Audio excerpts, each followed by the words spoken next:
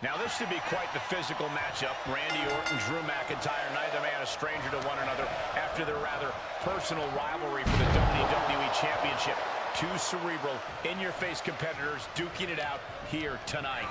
Cole is our good friend Booker T says the early cover. Not too soon. Not quite there yet. Looking for a speedy pinfall there. Clothesline.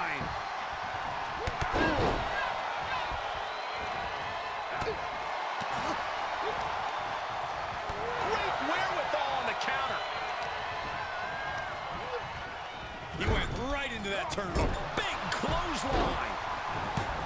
Randy Orton, one of the most calculating superstars in all of WWE. Corey, do you think he has a game plan in place for Drew McIntyre tonight?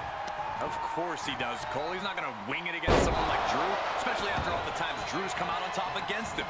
Randy's going to play this whole thing close to the vest, and we may not even... He goes for the quick pin attempt. Officiating there. Referee seeing him the ropes and breaking the count. Vicious right forearm. All the way up, and the Big time powerbomb. Now that's what you call impact.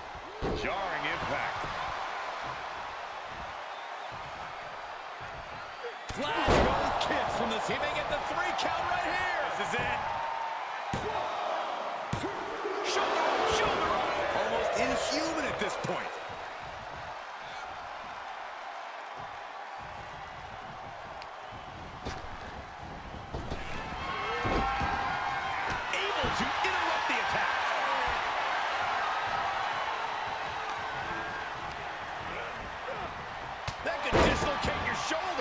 The Viper in bad shape here. This can't be how. Oh, the Kimura.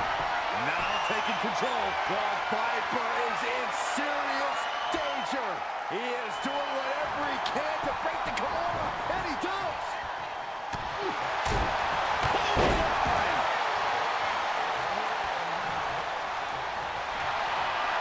Probably not going to win for a couple hundred years, Byron. You know why?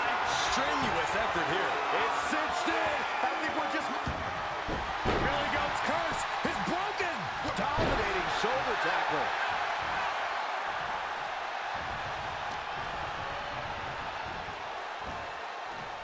Suplex. Orton clearly rocked by a precise attack there. Yeah, McIntyre. To the sky. He misses the target. Short flight, but a rough landing. Uh-oh. Able to capitalize on McIntyre's mistake for the win. And he fights it off. So, so close. That could have been it. Drew with cause for concern. There's two. He kicked out at two.